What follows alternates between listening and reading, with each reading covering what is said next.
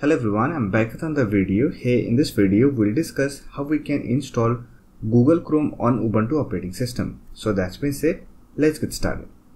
Let me tell you that on Ubuntu, we get Firefox as the default browser.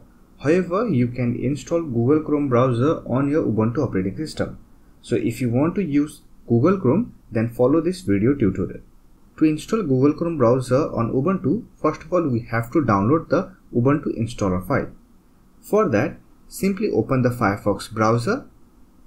Here search for Google Chrome and open the link from google.com. Don't worry about the download link, I'll provide the download link in the description box. Here, simply click on download Chrome button. Now here you will find get Chrome for Linux simply select 64-bit .deb file for Debian and Ubuntu. Then click on accept and install button. And it will download Google Chrome installer file for Ubuntu. Once the download has been completed, simply open this downloaded file.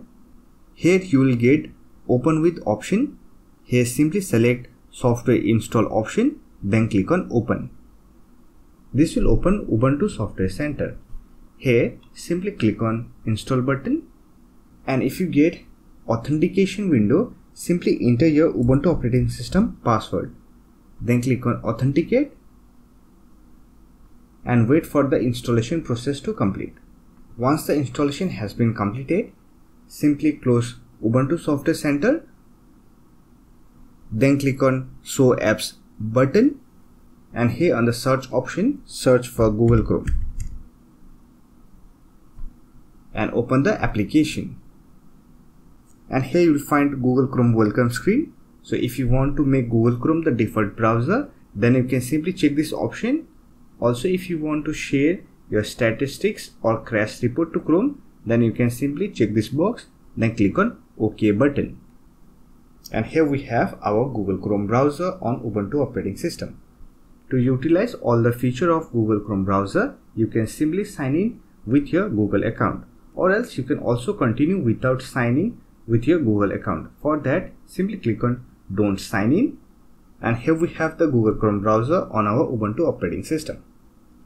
Now if you want to add Google Chrome browser to Ubuntu dock panel, then right click on Google Chrome icon, then click on add to favorite and it will be added to the dock.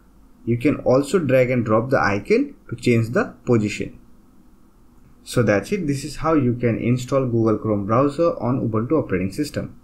I hope this video was helpful to you. If you found this video helpful, if you found this video helpful, don't forget to hit that like button and subscribe the channel for more videos like this. Bye for now. See you next video.